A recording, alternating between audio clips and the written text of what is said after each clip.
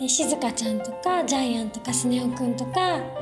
ましてやドラえもんっていう、まあ、最強の味方がいて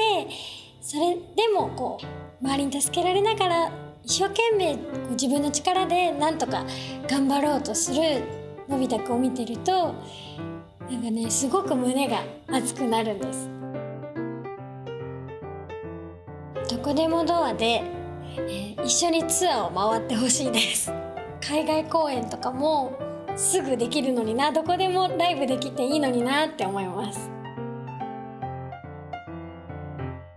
本当にずっと小さい頃からドラえもんを見てきたので本当に光栄な気持ちでしたし今回の映画が35周年の記念の作品ということでどんな曲を書こうってすごくワクワクしました。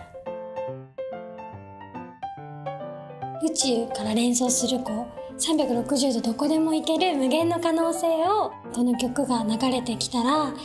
こう感じてもらえるようなさあドアを開けてっていうのはどこでもドアを開けてこう知らない世界だったり新しい世界に飛び出していくっていうのをイメージしてこう手と手と手っていうところにこう手をつないでこう世界が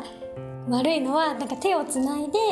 悪くなってるんだよっていうようなものを想像してもらえたらいいなと思って。足を踏んだのは誰っていうところもなんか子供とかだったら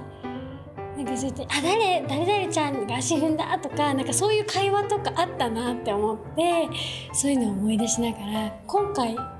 ラえもんとのび太くんとジャイアンとスネ夫くんとしずかちゃんに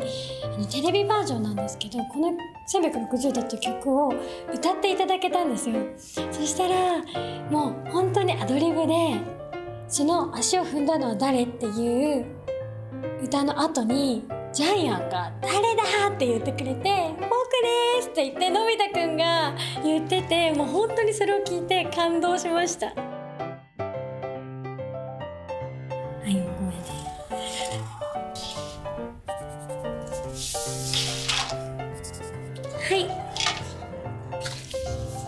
じゃん。